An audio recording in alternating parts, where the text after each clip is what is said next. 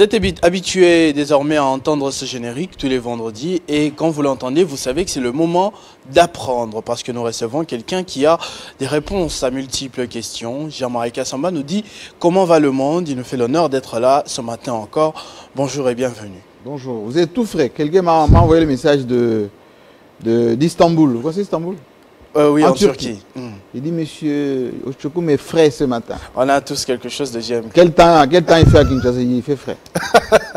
bien coiffé, bien rasé. Euh, Et il faisait également frais hier soir quand nous avons été envahis par un monsieur habillé en tenue militaire, pas une toque là, un chapeau de général avec euh, une canne, surpris, difficile de le reconnaître. Beaucoup de jeunes en sa compagnie pour un diplôme de mérite et quelques cadeaux adressés à votre personne. Vous avez été honoré par la synergie nationale du Grand Kassai.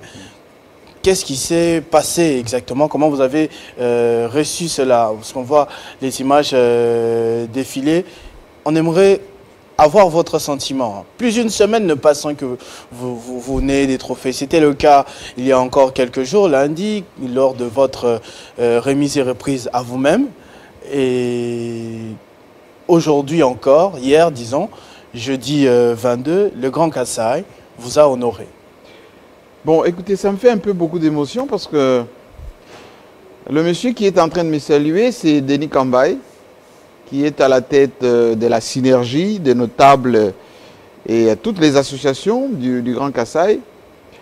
Euh, il est venu avec sa délégation pour euh, d'abord me féliciter pour la, réélection, mais surtout pour un, diplôme de mérite et, d'honneur par rapport à, à, ce que nous faisons pour d'abord notre pays, ensuite en tant qu'issu euh, ressortissant et notable du Grand Kassai, c'est que nous faisons aussi pour le rayonnement de notre euh, communauté.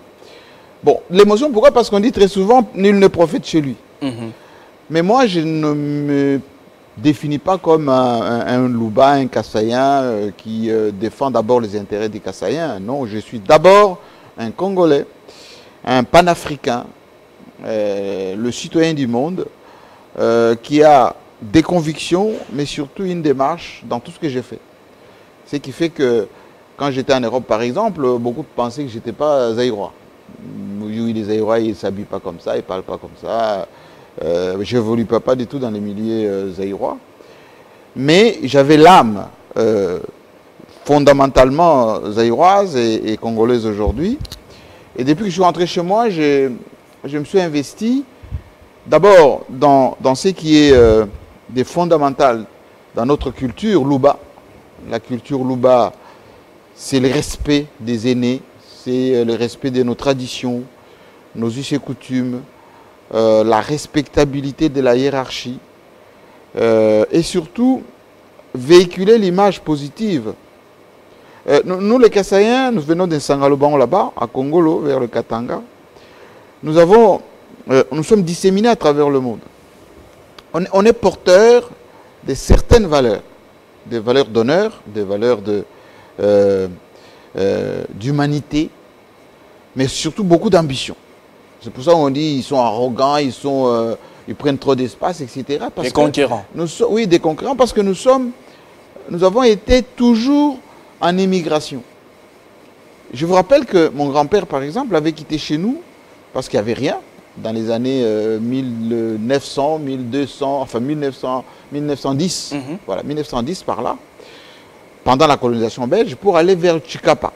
Chicapa, il y avait quoi là-bas? Forminière, exploitation de la forêt, un peu des mines aussi.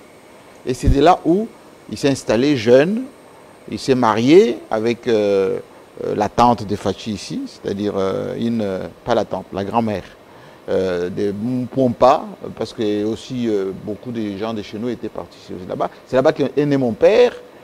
Et c'est là que mon père s'est marié avec ma mère. Et en 1960, on a été renvoyé, euh, il y a eu le premier génocide hein, que les Belges avaient provoqué entre les Kassaïens de l'Ouest et l'Est. Donc, pour résumer un peu, ils sont venus pour cette reconnaissance et pour témoigner d'abord de la reconnaissance de notre communauté, et le message que j'étais en train de donner à travers euh, cette petite euh, intervention, c'était de dire Oui, je suis Kassaïen, oui, je suis Louba, mais il faut que nous, Kassaïens, euh, nous défendons l'ensemble du pays.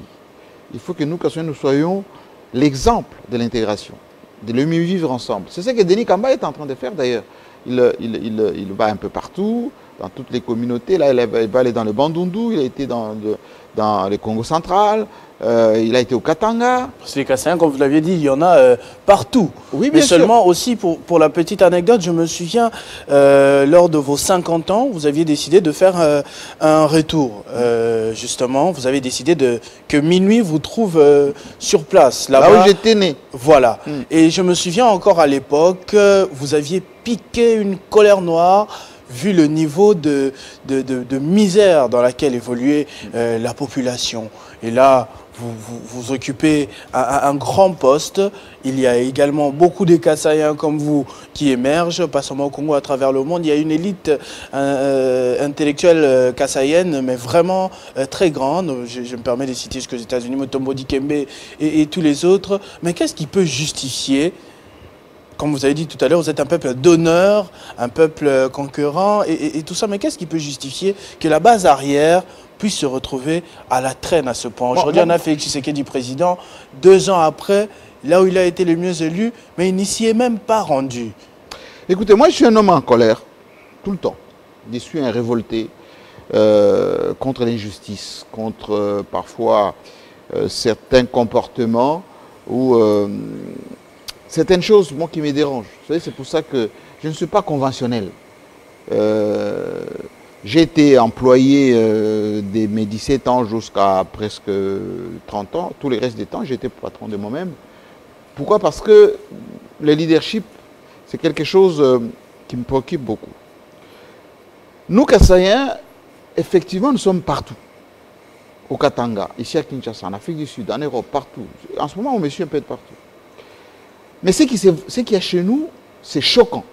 J'en parlais avec euh, Paul Chilumbu, d'ailleurs, que j'ai- reçu, qui est candidat gouverneur chez nous. Il y a comme une espèce de, de- de nonchalance.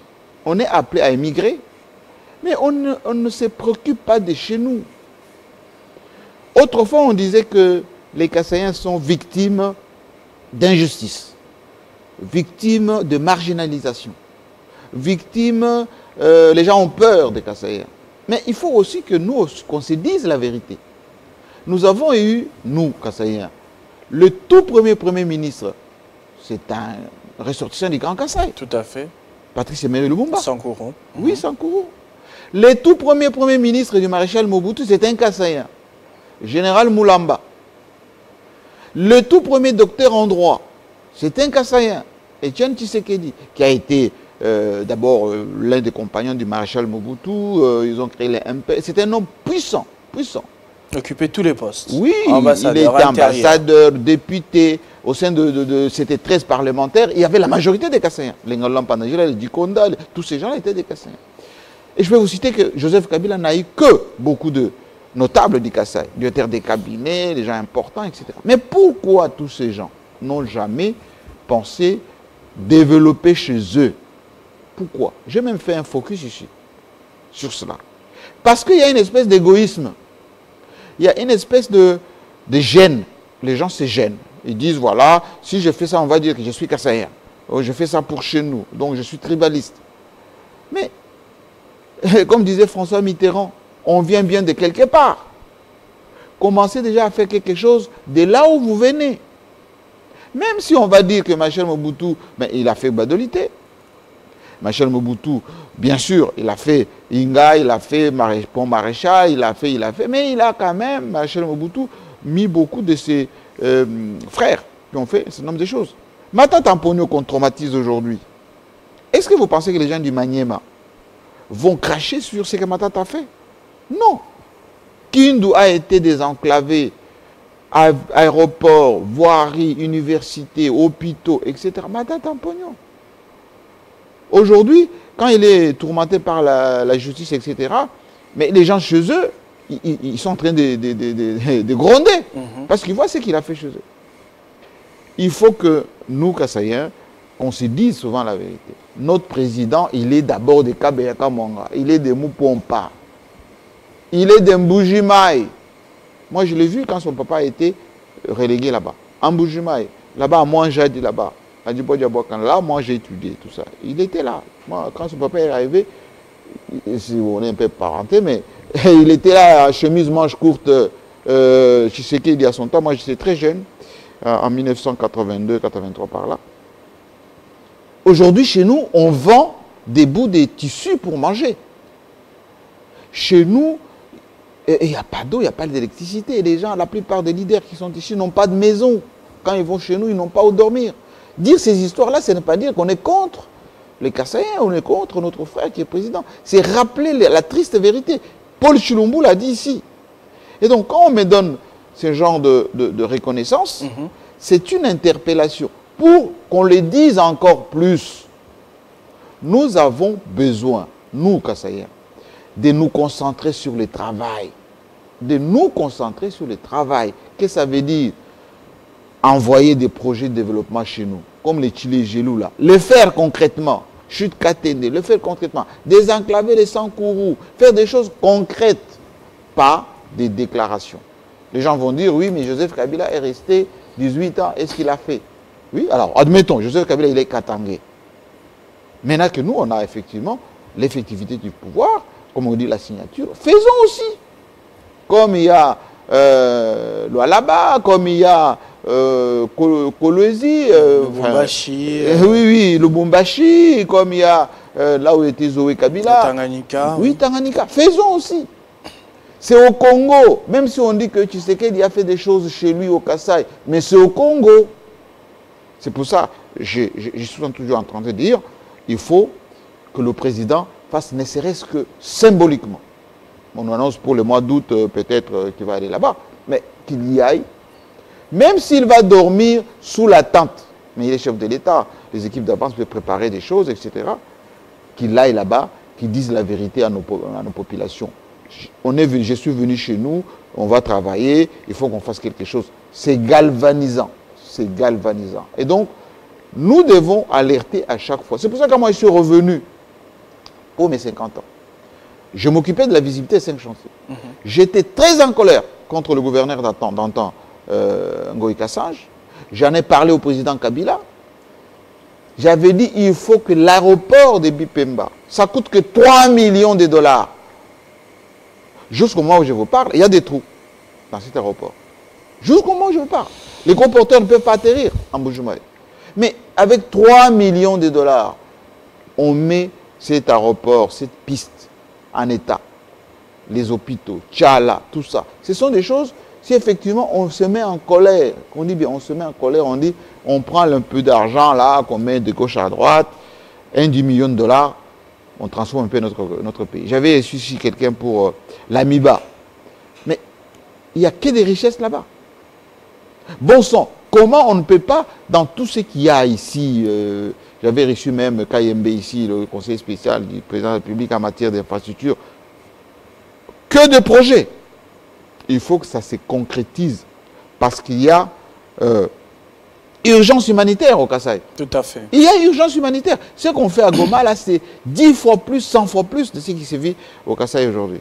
Bon, quand moi-même, je suis du Kassai, j'ai dit ce comme ça, c'est en solidarité avec mes frères qui sont là-bas. Et, on a annoncé quelqu'un peut-être qui n'est pas du Kassai et à qui on a reproché autrefois euh, n'est pas assez œuvré pour euh, cette partie du pays, notamment l'ancienne première dame, Mario Livlembe Kabila. Euh, elle pourrait faire un, tour là-bas incessamment. C'est prévu.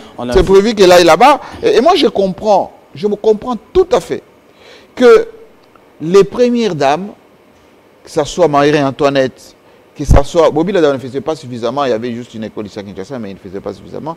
Euh, Olive Lembe, qui continue à faire pour le cœur cette dame. Mais autrefois, on disait il est candidat président de la République, etc. Elle continue à faire jusqu'à aujourd'hui. Elle pouvait aller s'acheter des bijoux, acheter des habits, euh, aller vivre euh, dans les thalassothérapies, mais elle continue à aller euh, dans le petit peuple, manger avec le petit peuple, etc. Il faut que notre première dame, l'actuelle première dame, je sais qu'elle a une fondation, je sais qu'elle fait un certain nombre de choses, qu'elle mobilise suffisamment, qu'elle ait suffisamment de moyens, qu'elle se mouille le maillot, comme on dit. Je sais qu'elle en a la volonté, moi j'ai échangé un peu avec elle, qu'elle aille là-bas, chez nous, là, chez ses beaux-frères, chez ce beau parent là-bas. Hein, qu'on la voie comme Olive Lembe qui, est qui part à Goma, qui part au Katanga, qui part, est là aussi là-bas, notre première dame, euh, Denise Nyakero, que je salue, euh, pour donner le sourire. Il y a des enfants, si vous allez sur le marché de Bakwadjanga là-bas, c'est ce marché de chez nous là-bas, il y a Sims, je sais pas quoi, il n'y a rien à vendre. Et donc, on peut faire même des ponts aériens si on dit que les chemins de fer ne fonctionnent pas, tout ça. Les ponts aériens, on prend des avions cargo, on, dé- on déverse du maïs là-bas, des foufous, pour que les gens mangent chez nous. C'est très important. Tout à fait. Et moi, Et- c'est une interpellation quand on me donne des choses comme ça, parce que j'ai l'âme de chez nous. Moi, je vis en Choulouba, j'ai grandi en Choulouba. Mes enfants, je les, je les- je les éduque en Choulouba. Euh, il faut que notre culture, c'est la solidarité et la fierté d'être Kassaïen. Cette fierté, ça doit se matérialiser en, en, en- en venant en aide à nos, à nos compatriotes. Est-ce que Félix Tshisekedi n'a pas un tout petit peu peur de se faire traiter de, de tribaliste s'il se penchait sur cette question-là? Est-ce que c'est pas Mais il est Kassaïen, il est Moulouba, il est Mwenampuka, il est de Kabeka Mwanga. Si on le rappelle, où est le mal? Quand, à l'époque du maréchal Mobutu, on disait les Bangbandi, les gens de l'Équateur, les Bangala, Mobutu, il était bien ça. Mais ça ne l'empêchait pas d'être président de la République. On disait bien les Swahiliphones, Joseph Kabila, Senkatangé et tout ça. Mais il est bien, il est bien ça. Quand, quand on me rappelle Jésus Kassaïen, ça me fait quoi? Si j'ai dit M. Chokoum, il est de Bandundu, ça fait quoi? C'est votre identité il faut s'assumer dans la vie. Moi, je suis avec Joseph Kabila, j'étais euh, dans son arropage. Je n'ai jamais caché que j'étais Kassaïen. D'ailleurs, je ne parlais même pas Swahili. J'affirmais que j'étais Kassaïen. Dans la vie, il faut s'assumer. Quand vous vous assumez, vous êtes un homme libre. Et le chef de l'État, je sais que c'est quelqu'un de courageux. Ceux qui lui rendent souvent ce mauvais service, ce sont souvent les gens qui sont autour de lui, qui lui font peur, qui lui racontent des histoires. Regardez comment on a arrêté certains militaires qui ont détourné l'argent en Ituri là-bas. C'est que les gens, jusqu'à aujourd'hui, ils ne se gênent même pas. Ils continuent à faire des choses de travers. Alors, c'est pas bon. C'est pas bon du tout. Cette affaire de Noël Chani et tout ça. Quelle utilité ça Quelle utilité ça Ça n'a strictement aucune utilité. Sauf galvaniser encore, créer encore des, des, Des des- des- des fissures, euh, au sein de la société, etc. Parce que On le va- président de la République, s'il a un bon bilan, s'il a, euh, comme qui dirait, une certaine euh, allez, Il produit des bons un résultats. sens de réconciliation nationale, il fera son deuxième mandat sans problème. Tout à fait. Joseph Kabila était bien candidat euh, avec euh, les autres, une dizaine, mais il a gagné à deux reprises. Donc, je sais qu'il dit, toujours s'il est hein, au-dessus et, euh, de la mêlée, il fait des choses pour rassembler les Congolais, etc. Il a des coups voter, d'avance. il va- La Constitution lui le reconnaît. Moi, je ne comprends pas pourquoi ces gens s'agitent, il faut éliminer tel, tel, tel, Katumbi, Matata. C'est c'est tout simplement la peur pour rien. L'essentiel, c'est donner à manger à la population. L'essentiel, c'est qu'il y ait la sécurité. L'essentiel, c'est que qu'il fasse des choses pour chez nous, ici à Kinshasa, et puis dans d'autres pays où il y a effectivement la misère. On va revenir certainement sur ce sujet-là, mais j'aimerais que l'on en prenne également une autre euh, actualité. Depuis hier, le président de la République lui-même a participé à ce séminaire des Warriors, comme on les appelle. Les membres du gouvernement Samalou Kondé ont débuté depuis hier un séminaire de formation. Ce n'est pas la première fois hein, que l'on se livre à ce genre d'exercice. Ça vient, c'est un peu comme une tradition. Mais cette fois, Félix Tshisekedi se vante et le répète ces ministres n'ont pas d'ordre à recevoir de quelconque euh, autorité morale que ce soit. Ils sont sous sa gouvernance, sous sa vision, que pour le peuple. Et est-ce que l'on pourra enfin euh, espérer des résultats dans Marika Samba avec euh, cette vision, ce genre de discours Bon, moi je pense que ces séminaires devraient avoir lieu la première semaine, la deuxième semaine de la, mise- de la mise en place Et pas à du pratiquement 100 gouvernement.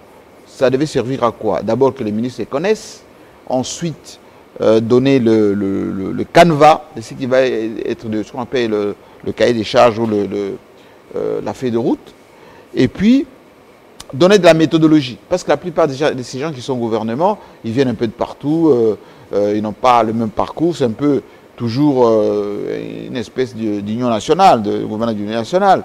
Bon, ça s'est fait maintenant, trois mois plus tard, why not? Mais je pense que le plus important, ce n'est pas les discours. Parce que si le président dit que euh, ils ne doivent pas recevoir l'ordre d'autorité morale, est-ce qu'en réalité, il y a encore d'autorité morale? Moïse Katoumi, par exemple. Il était dit, oui, mais Moïse Katoumi, autorité morale, euh, c'est un gouvernement. On soupçonne euh, peut-être qu'il ne s'est jamais prononcé clairement. Oui, mais, mais on sent comme s'il y a de l'ombre. Hein. Ça nous rappelle un tout petit peu les époques Caméré ou encore euh, Kabila FCC. On dit que non. Il y a une frilosité. Mhm. Il y a une frilosité. Pourquoi? Parce que l'union sacrée était par définition le rassemblement de tous les leaders, quels que soient les partis politiques, autour de Tshisekedi, pour un gouvernement de consensus ayant pour objectif le travail. Ce n'était pas un, euh, patchwork, de, un assemblage d'autorités morales qui délèguent euh, leurs leur, ou leurs pions là-bas au gouvernement pour faire le travail, etc. Mais on se rend compte que avec tout ce qu'il y a eu comme euh, croc en jambe, d'abord l'UNC est dedans, Kamer est en prison, un certain nombre des militants de l'UNC sont en prison, ou euh, tracassé. Moïse Katumbi est dedans, mais Jacques Ndale vient d'être arrêté. Euh, Joseph Kabila en son temps était dedans, mais voilà. certains membres du PPRD. voilà, Joseph Kabila, qui est toujours le leader, comme vous le veuillez ou pas, mhm. FCC entrant, pas entrant, ces gens-là gardent toujours le contact avec lui. Et donc, comme il n'y a pas eu ce qu'on appelle la synergie, il y a comme une espèce de frilosité. Beaucoup de déçus pense que, ah bon, tant qu'à faire, je, je, dois rentrer chez moi parce que je suis quand même l'émanation de Moïse Katoumi qui est traumatisé. Je suis l'émanation de Vital Kamer qui est traumatisé. Je suis l'émanation du FCC, Joseph Kabila est traumatisé. Et donc, la phrase du président de la République, c'est comme pour dire, même si vous êtes venu de quelque part, faites-moi confiance. Mais ça ne se décrète pas. Il faut le vivre. C'est pour ça que je parle toujours de la stabilité, réconciliation, euh, d'une espèce de, de, sérénité. Ce gouvernement va réussir lorsqu'il y aura de la sérénité. Deuxièmement, c'est un gouvernement qui n'a pas les moyens de sa politique, jusque-là. Mhm. Les moyens de sa politique, les frais de fonctionnement, euh, le programme.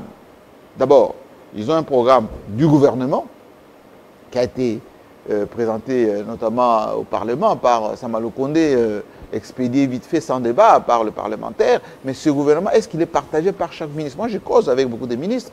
Chaque ministre vous présente toujours son cahier des charges. Voilà, moi, je vais faire ça.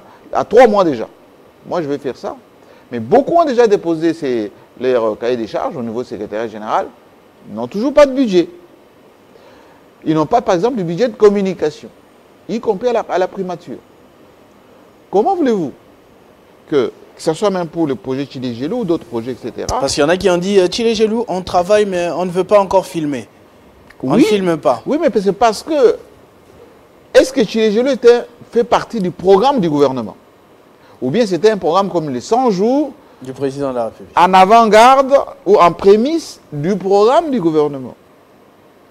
Est-ce que là, par exemple, le président avait Samalou Kondé Vous voyez que Samalou Kondé, il ne parle pas, euh, il ne s'expose pas trop. Il ne fait que recevoir, recevoir, recevoir, recevoir. Et donc, ses propres ministres, certains ont des contacts directs avec les chefs de l'État. Ils ont plus peur de la, plutôt de la présidence de la République que, de la primature. Et il y a à côté de cela ce qu'on appelle le gouvernement parallèle.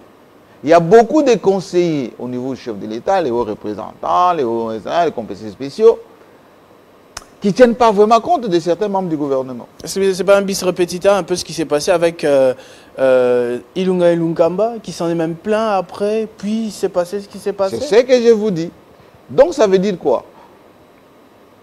On n'a pas laissé les gens que la Constitution reconnaît la légalité de faire des choses, des prérogatives de faire des choses, faire leur travail. Ce n'est pas normal. Par exemple, que beaucoup d'investisseurs au lieu d'y aller voir des ministres, ils vont voir les conseillers. Il n'est pas tout à fait normal que certaines missions importantes, on envoie plus des conseillers que les ministres des tutelles. Vous voyez? Et donc, mais le temps ne fait que passer. Vous voyez? Comment, comment expliquer que l'IGF, par exemple, a plus de prédominance en termes de persuasion que l'inspection, euh, enfin, le ministère, par exemple, de, Finances. Vous voyez Parce que l'IGF fait partie de la présidence de la République. C'est un service. alors qu'avant, il était. Mais le ministère des Finances, mhm. c'est lui que la loi reconnaît pour gérer les finances publiques. Vous voyez Tout ceci est très important. Moi, quelqu'un m'a envoyé l'audio tout à l'heure au niveau euh, du cabinet du chef de l'État, c'est-à-dire ceux qui font un peu la communication du président de la République. Beaucoup de bisbis, pas de budget, etc. Tout ceci pose problème. Parce que dans cette conférence, on va dire, le, discours du président était euh, pour préparer un peu, je dirais, les esprits par rapport à cela.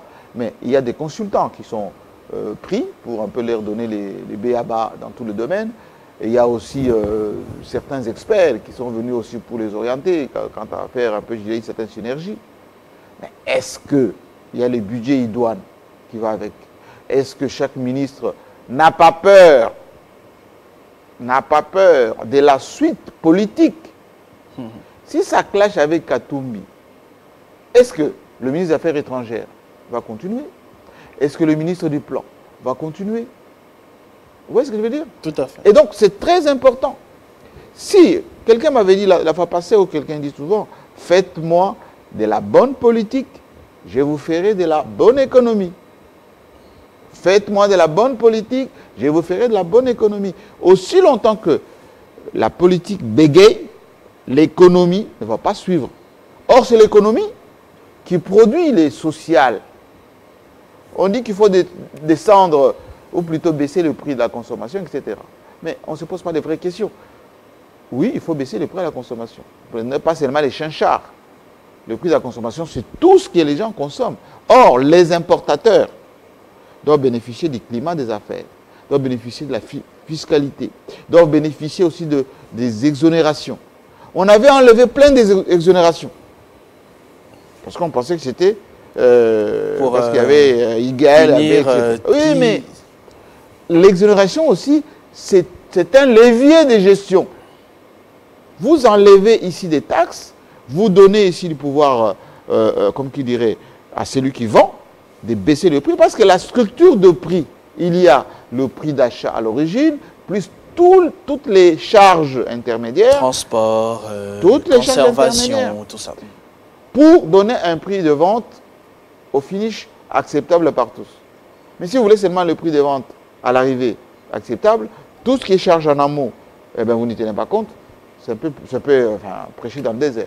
Et tout à fait. Pendant ce temps, euh, Félix Tshisekedi se bat pour euh, cette euh, politique, comme vous dites, de la bonne politique pour de la bonne économie. Entre-temps, il y a aussi des voix qui s'élèvent. Hein. Je, pêcherai de ne pas poser cette question. Mm. C'est d'une intervention sur France TV5 Monde le week-end dernier mm. du député d'Élysée Sanga qui a presque affirmé qu'il s'était rallié à Martin Fayulu ou encore à la Lucha ou tout ceci, cela. Bon, c'est vrai que ça a été euh, démenti un peu euh, plusieurs fois après par euh, ces services, mais cette intention-là, cette audace-là de s'afficher à côté de, Martin d'émettre des communiqués qui parlent le même langage que Martin Fayulu, qui, on le sait, l'ennemi, dirais peut-être que Félix Tshisekedi ne le considère pas comme ennemi, mais Martin Fayulu, lui, ne le tolère pas. Et hier encore, il a refusé de s'élever à la cathédrale Notre-Dame du Congo alors que le président entrait, que tout le monde lui donnait des Ce qui est sûr, les lignes bougent. Hmm. Ah, les, gens, sacrée les, gens ne, les gens ne les disent pas bon, à haute voix, mais les lignes bougent. Ça bouge depuis un certain temps déjà. Euh, la situation au Kakoni Kamere euh, a fait bouger beaucoup de lignes les gens de Cameroun qui restent au gouvernement, ils restent, euh, on va dire, pour le principe. Mais la, plupart, leur cœur euh, n'y est pas vraiment. On pensait peut-être Katumbi. Eh bien, Katumbi, euh, le cœur n'y est pas vraiment. Vraiment pas. Parce qu'il risque de subir le même sort. J'ai dit vraiment pas. Vraiment pas. Jean-Pierre Bemba, vous sentez, vous l'entendez presque plus. Parce que Bemba, quand il voit ce qu'a subi Caméré, ce qu'a subi Katumbi, ben, il est presque dans le même lot. Déjà lui euh, écarté déjà bien avant. Absolument, parce qu'il a, il a une condamnation. Voilà. Donc si on ne change pas de constitution, il y restera. Il ne peut pas être candidat. Donc lui, son cas est déjà réglé. réglé. Euh, Matata, qui, qui était en marge, très loin, sénateur, il faisait ses, ses conférences, le leadership, etc. Eh ben, on a gratté parce qu'on voyait qu'il s'est préparé déjà, lui. Ah, il faut qu'on s'occupe un peu de lui. Il y a déjà tout le pan un peu, je dirais, des swahilophones, euh, qui est un peu dans la frilosité. J'ai vu que déjà depuis hier, on commence à annoncer euh, Bahati comme candidat, probable candidat, si Kamel n'est pas candidat à président de la République, à l'Est. Et donc, les lignes bougent. Ce qu'a dit Sanga, c'est ce que pensent beaucoup des leaders. Si vous allez au Parlement aujourd'hui, vous avez suivi par exemple que la plupart des notables, les élus du Grand Équateur, ont fait une déclaration publique contre la loi euh, Chani, notamment en invectivant Pouloulou de ce qu'il a dit sur le maréchal Mobutu. Mhm. Et donc, nous sommes un pays mosaïque où il y a encore le tribalisme qui prévaut. Autrement dit, ce qu'a dit Sanga, c'est ce qui est en train de se faire en coulisses. Ralliement de qui? Katumbi Kabila, Kabila Fayoulou, Fayoulou Kamere, Kamere probablement Matate qui se met dans la danse. Et ce n'est pas bon pour l'union sacrée. Donc un front des, des on va le dire, euh, frustrés Oui, il y a beaucoup de frustrés, mais il y a aussi, vous savez, depuis 1960, notre pays a toujours vécu, comme a dit le président Tshisekedi, dans une espèce de mafia convenue. Ça s'est vu au Brazzaville, à Congo-Brazzaville. Hein. Les généraux euh, euh, vivent bien. Hein. En Angola, depuis longtemps. Mhm. Ici aussi, chez nous, c'était pareil. Quand on vient, par exemple, on dit, voilà, désormais, on change la donne. La donne pour la gestion des budgets au niveau militaire, la donne au niveau des gestions des finances, au niveau notamment de certains projets, au niveau de l'administration. Moi, j'ai été avec le ministre de l'Éducation nationale il y a deux jours, où il a complètement tordu cette affaire de gratuité en disant les catholiques s'opposent à la gratuité parce que c'est beaucoup d'argent dans la gratuité. Les minervales qui sont payées par enfant au sein des églises catholiques, euh, même le cardinal euh, touche 5 dollars par enfant. Si vous dites que désormais ces 5 dollars ne, tombent plus entre les mains du cardinal, comment voulez-vous qu'on construise les, diocèses, euh, qu'on s'occupe de certains prêtres, etc. Parce que Rome n'envoie plus rien? D'où l'hostilité de l'Église catholique. Et donc, cette mafia-là, c'est je suis aussi au CECOPE. CECOPE qui est l'administration de l'enseignement. Mhm les gens préfèrent aller au CECOPE que de s'occuper, par exemple, d'aller enseigner les enfants. il y a beaucoup des, enseignants qui sont fictifs. Tout ceci, on veut chambouler en même temps, sans d'abord stabiliser les choses. Conclusion, la bonne politique dont j'ai parlé tout à l'heure, qui n'est pas bien faite dans la sérénité, crée des frustrations. Et la plupart des gens qui pouvaient économiquement soutenir le social ne les font pas. Comme disait euh, Christian Badibang à son temps, Bichiki la Touboya, les Kassaïens vont me comprendre. Ça se gâte, on verra. J'aimerais également avoir votre avis, euh, Jean-Marie Kassamba, sur un sujet qui défraie la chronique en ce moment, que ce soit au niveau national, parce que RDC est également concerné, qu'au niveau international, encore pire. Et j'aimerais que, juste avant, l'on suive un tout petit reportage à ce sujet de nos confrères euh, occidentaux. J'annonce déjà qu'il s'agit de Pegasus. On a un tout petit peu fait les sujets tout à l'heure dans Escale sur le net. On va voir l'avis d'un expert à ce sujet, Jean-Marie Kassamba. On suit le reportage et on revient commenter ça juste après.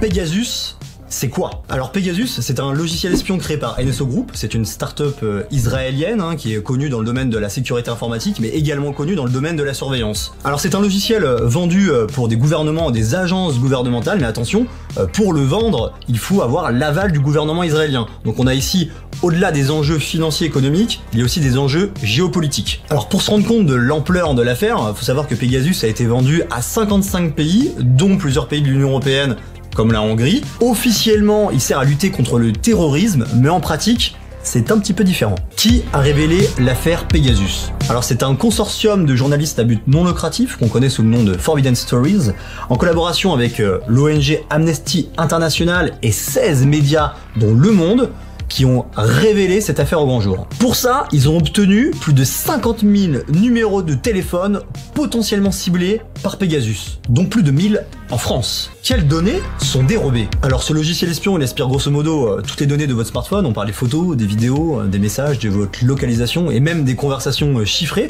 sur WhatsApp et Signal qui sont censés justement vous apporter plus de sécurité. Donc dans l'idée, rien ne résiste à Pegasus. Ce qu'il faut comprendre, c'est qu'aucune de vos données ne sont à l'abri et que tout le monde peut être ciblé. Comment Pegasus vole les données? Alors chaque année, Google et Apple nous assurent que leurs systèmes d'exploitation euh, sont sécures, euh, mais finalement, on voit bien euh, que ces deux grands géants de la tech ne peuvent pas garantir une sécurité à 100%, et on va vous expliquer comment Pegasus s'y est pris. Pour ce faire, Pegasus exploite des failles Zero Day trouvées par les chercheurs de NSO Group. Une faille Zero Day, c'est quoi? C'est une vulnérabilité au sein d'un logiciel qui n'est pas connu par l'éditeur du logiciel en lui-même. Donc en gros, Apple et Google ne connaissent pas cette faille et le seul moyen de la corriger, bah, c'est de la découvrir par un moyen ou un autre. Le plus dingue dans tout ça, c'est qu'on est sur une faille zéro clic. Une faille zéro clic, c'est quoi? C'est lorsque le virus peut s'immiscer dans un smartphone sans aucune interaction avec l'utilisateur. L'utilisateur n'a même pas besoin d'ouvrir un fichier corrompu, de télécharger un document infecté le virus s'invite dans son téléphone à son insu sans qu'il ne soit au courant de rien. Alors ce logiciel espion il est très vicieux parce qu'il s'adapte constamment au système d'exploitation de Google et d'Apple. Comme on a pu le voir, il y a des iPhone 12 Pro Max qui ont été infectés avec la dernière version publique d'iOS. Le logiciel espion ne laisse pas de traces, ou du moins très peu de traces. Il est facile pour Pegasus d'effacer ses traces et de dissimuler son effraction qui a été ciblé par ces attaques. Alors on vous parlait au début de la vidéo d'enjeux euh, géopolitiques, et parmi les cibles on peut compter des journalistes, des avocats, des défenseurs des droits de l'homme, mais également des opposants à certains régimes. Alors je vous rassure, Pegasus n'a pas été utilisé en France, en revanche on sait que des Français ont été ciblés par le gouvernement marocain. On parle ici de journalistes, d'athlètes, d'imams, de prêtres, d'avocats et même de youtubeurs. Et parmi les médias qui ont été touchés, on peut parler du Monde, le Canard enchaîné, du Figaro, de l'AFP et même de France Télévisions. Et pour avoir un exemple encore plus précis, Edoui Plenel a été cité dans cette affaire. Pourquoi c'est encore plus grave qu'on ne le pense? Parce qu'on a retrouvé des traces du logiciel espion dans certaines affaires extrêmement sensibles. On parle notamment du smartphone de Cecilio Pineda, un journaliste mexicain assassiné en mars 2017. À ce propos, au Mexique, on apprend que 15 000 journalistes ont été ciblés par le logiciel espion Pegasus. Autre affaire extrêmement touchy, celle de Jamal Khashoggi, l'éditorialiste saoudien du Washington Post qui a été assassiné en octobre 2018 à Istanbul. Bref, en gros, on observe que Pegasus est lié à des histoires un peu sombres. Et ensuite, qu'est-ce qui se passe? On s'attend forcément à ce que Google et Apple déploient des correctifs pour corriger la faille. Mais au final, on peut se demander si ça va pas être un éternel recommencement parce que le travail des chercheurs de Nesso Group, finalement, c'est de chercher des nouvelles failles logicielles. Nous chez Frandroid, on suit cette affaire avec attention, on n'hésitera pas à écrire d'autres articles ou à mettre à jour des articles s'il y a des réponses notamment de Google et d'Apple. N'hésitez pas également à aller jeter un œil dans la description, il y a plusieurs articles qui parlent du sujet.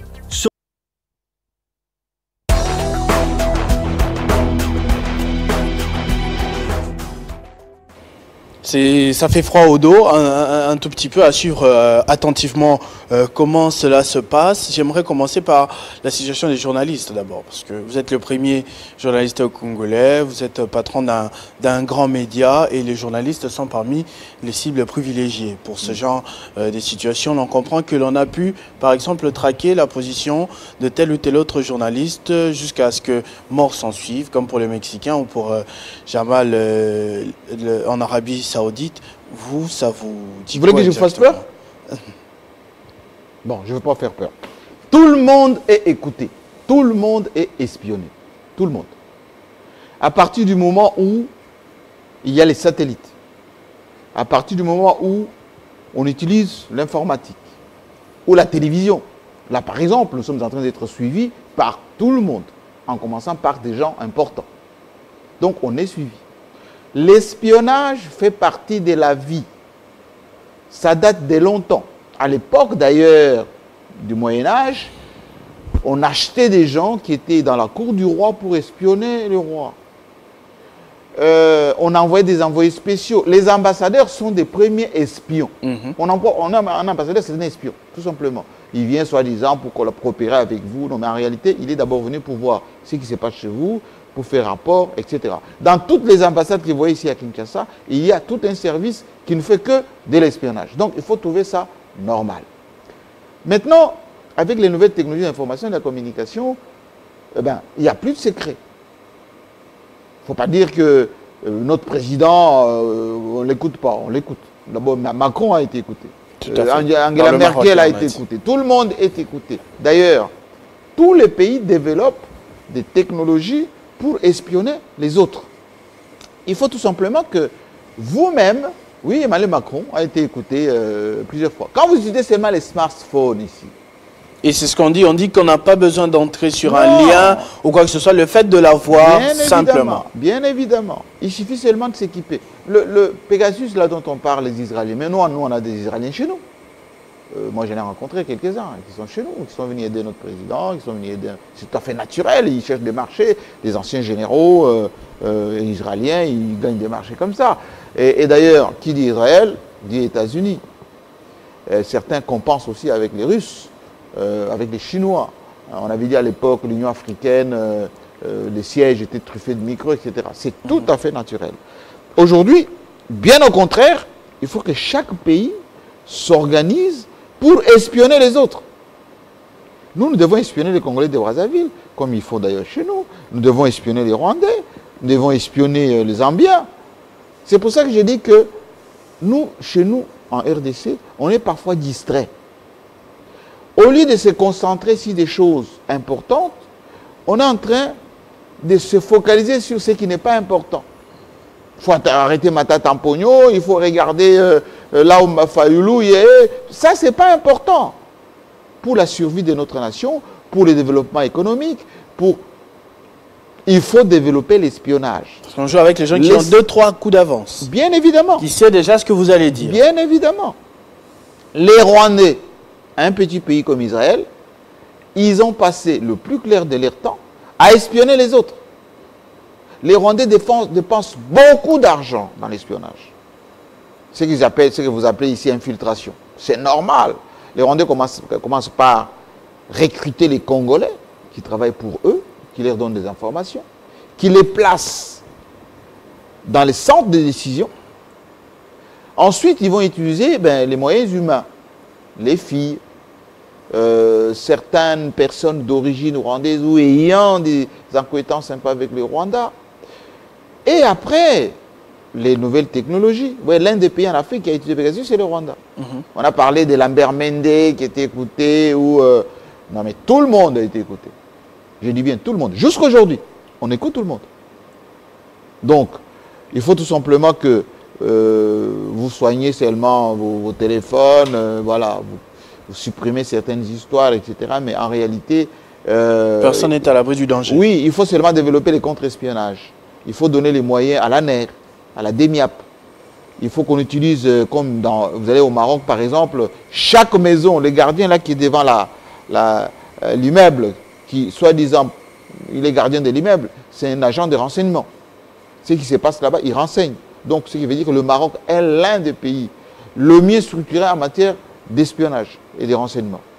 Le Maroc aide la France, par exemple, à désactiver certaines euh, situations. Le Maroc travaille avec les CIA, avec Israël, etc. Et donc, nous devons travailler avec ce genre de choses. Ça ne doit pas nous faire peur, bien au contraire.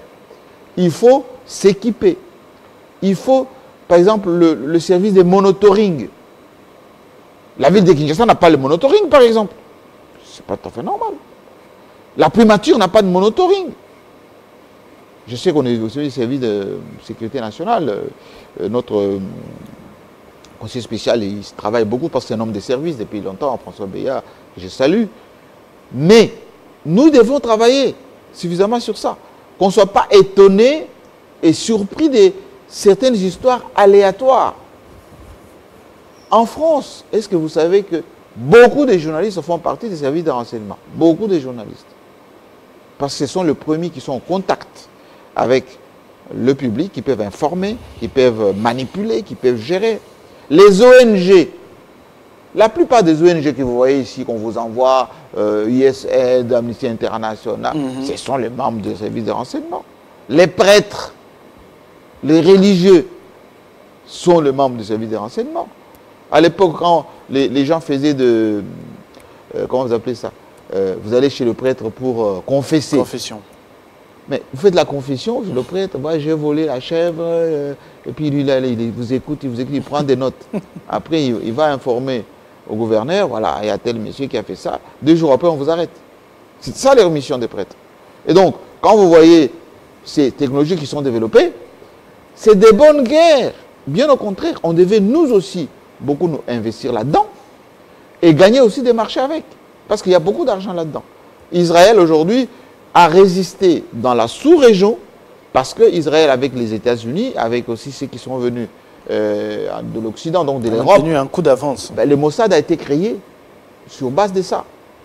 Parce qu'il y avait des Iraniens qui étaient attaqués par les Juifs, ou plutôt par le- les Arabes à l'époque, parce qu'ils étaient minoritaires. Ils ont eux-mêmes créé leurs services de renseignement pour euh, désorienter les Arabes et les informer. Je vous donnerai ces livres si vous voulez bien les lire. Eh bien, le Mossad est parti comme ça. Aujourd'hui, c'est l'un des services les plus euh, structurés en matière de renseignement. Tout à fait. À côté des CIA et tous les autres, ils collaborent. CIA, CIA euh, KGB qui a changé de, de nom depuis euh, SB, FSB aujourd'hui. Alors, euh. s'il y a un conseil que vous pourrez donner aux journalistes, parce que vous êtes le responsable. Alors, les des journalistes, des je dois leur dire d'abord, un, ce sont les premiers cibles. Il y a les journalistes, les avocats, les, les responsables des ONG. Ce sont les premiers cibles. Pourquoi on les cible, les journalistes? Parce que c'est eux qui fouinent, c'est eux qui donnent les informations. Donc, il faut identifier le plus important pour les suivre. Donc, euh, moi, si on me dit que je suis sur le banc d'écoute, moi, ça ne m'étonne pas, parce que j'ai j'ai l'habitude, moi, depuis longtemps. Donc, euh, il faut vivre avec. Il faut tout simplement être très prudent et savoir que toute personne qui vous contacte en tant que journaliste est un espion potentiel. Souvent, quand on vous invite dans des ambassades, tout ça, venez prendre les petits jus, euh, euh, des petits fours, etc., vous pensez parce qu'on vous aime beaucoup? Non, c'est parce que on veut soit vous recruter pour que vous puissiez euh, être des honorables correspondants, donner des informations, ou faire passer des informations par vous pour manipuler et gérer les opinions. Voilà. Les politiciens, c'est la même chose. Quand vous êtes un politicien un peu chaud, comme Lambert Menda à son temps, il faut qu'on sache eh ben, qui vous renseigne, qui vous donne les éléments. Quand vous n'êtes pas à la télévision, vous parlez avec qui, etc., pour suivre un peu vos traces. Et ils, sont même, euh, ils prennent même euh, des, des- des affaires intimes pour faire passer bien des sûr. chantages. euh, Quand vous devenez dérangeant, il y a des moments, où on a des éléments de chantage aussi, hein, pour faire peur, ou pour faire, pour faire un peu vaciller. Et donc, si vous, vous ne dérangez pas trop, bon, on vous laisse euh, évoluer. Donc, c'est un peu comme ça que ça, ça fonctionne. Donc, euh, Pegasus, euh, c'est un logiciel très sophistiqué. Eh ben, je pense que ça doit être aussi chez nous. Hein. C'est pas, euh, c'est pas méchant. Enfin, c'est méchant pour ceux qui font des choses, mais il faut vivre avec. Bien au contraire, il faut se développer. Il ne faut pas penser que si vous parlez sur WhatsApp, personne ne vous écoute, c'est faux. Si vous parlez sur Signal, personne. Mais ceux qui ont développé là, ces, technologies, mais ils connaissent comment les capter. Pegasus, par exemple, ils s'en fichent, que ce soit WhatsApp, que ce soit euh, Signal, etc. euh, on vous capte. Tout passe par satellite. Mais qui gère les satellites? C'est eux. Donc, euh, on, est nu. On est nu sur terre, cette terre. Maintenant qu'on vous a ajouté le coronavirus avec les vaccins dans lesquels il y a des puces, eh ben, on va maintenant vous situer physiquement en dehors de votre téléphone. Merci beaucoup Jean-Marie Kassamba pour euh, toutes ces informations. Comme je disais d'entrée des jeux, nous ressortons de ce Nous, nous qui avons numéro, appris oui. le chest, par exemple, Mhm. c'est ce que nous avons appris en tant que stratège. Donc, les nouvelles technologies servent aussi de protection d'un pays. Et donc, il faut ajouter au renseignement humain de la technologie aussi. Tout à fait. C'est justement ça le, le coup d'avance pour remporter les grandes guerres, pour Oui. connaître les positions. La euh, guerre n'est pas de seulement physique, hein. la guerre euh, psychologique, médiatique et technologique. Merci beaucoup Jean-Marie Kassamba. Comme je disais, nous sommes sortis un peu plus intelligents de ce comment va le monde, de ces dessous de cartes de Jean-Marie Kassamba, informés dans les moindres détails sur euh, tout ce qui se passe dans l'actualité en République démocratique du Congo et à travers le monde. Je vous remercie beaucoup. beaucoup Merci à vous et bon votre week-end. agenda chargé. Toujours dans la fraîcheur. Merci beaucoup Jean-Marie Kassamba. Merci également à vous de nous avoir suivis, d'avoir accordé votre attention à ce numéro de 50 Bonjour sur votre chaîne Télé 50. Merci à toute l'équipe qui a contribué, Arsène, Freddy, Carly, Jocelyn, Dédé, Apo derrière. Merci beaucoup, vivez heureux, vivez 100 ans et bon début de week-end à vous tous.